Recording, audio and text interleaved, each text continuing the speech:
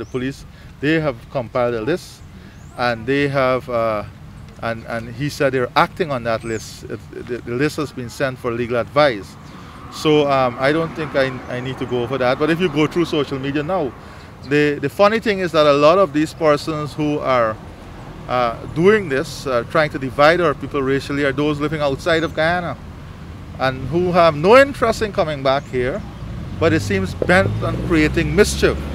And I think it is time the, the force deal with these persons in a, in, in a condign manner. How do, you balance that, how do you balance that concern with freedom of expression? Of course, we support freedom of expression, and this was raised with the commissioner that we want, uh, we, we, we don't want any Guyanese to be denied uh, freedom of expression. It's a constitutional right, it's a fundamental right.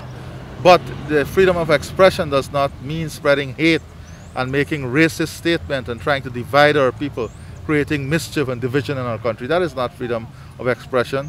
That is trying to destroy the fabric of our society and create havoc in our country.